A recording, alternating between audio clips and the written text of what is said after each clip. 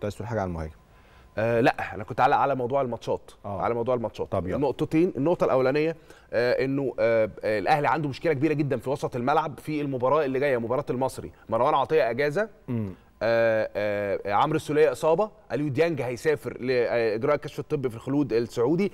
وأكرم خارج كان ماسك رجليه.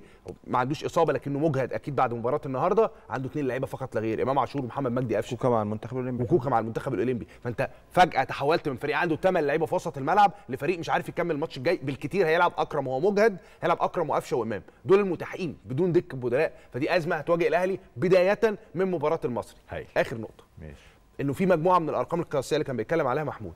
رقم واحد إنه الأهلي بيرسل علشان يوصل لأكبر عدد عدد من الأهداف مسجل في تاريخ الدوري المصري. الأهلي متبقي له 8 مباريات محتاج يسجل 16 جول عشان يوصل لرقم 75 جول وده الرقم القياسي في تاريخ الدوري المصري. اثنين إذا ما استطاع النادي الأهلي الفوز في كل مبارياته القادمة كل مبارياته القادمة سيصل للفوز رقم 29 كاسرا الرقم القياسي السابق المسجل باسم النادي الأهلي ب 28 فوز. رقم ثلاثة الرقم القياسي لعدد المباريات ال- آه، الفائز بها النادي تواليا آه، مكتوبة مسبقا باسم آه، مانويل جوزيه ورينيه فايلر ب 17 مباراة. الأهلي فقط يحتاج لثلاث مباريات على التوالي كي يحقق الرقم القياسي. فبنتكلم على مجموعة من الأرقام القياسية كلها مسجلة على الأقل مشترك فيها مانويل جوزيه.